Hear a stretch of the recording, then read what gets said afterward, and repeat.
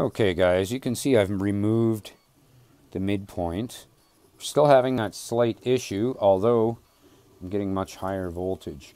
I've turned the power supply up on here to uh, put a little more power through it. So uh, we're pulling about, you know, between 30 and 60 watts. We're getting about 160 volts out of that right now. The inverter's on. It's not pumping.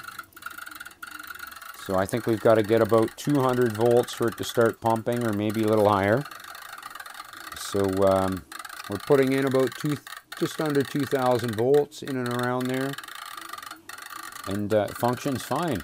So uh, we're getting there. Um, this may have reduced some of the tug of war, but it's still not, it's still not so there's something else going on here, and that's going through a full wave bridge.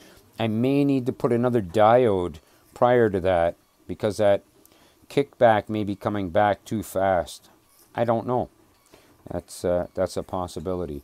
Uh, case in point works great. It uh, we're getting DC out of that. I don't know the watts. Don't really care at this moment. I'm just showing you a very simple configuration that is producing results.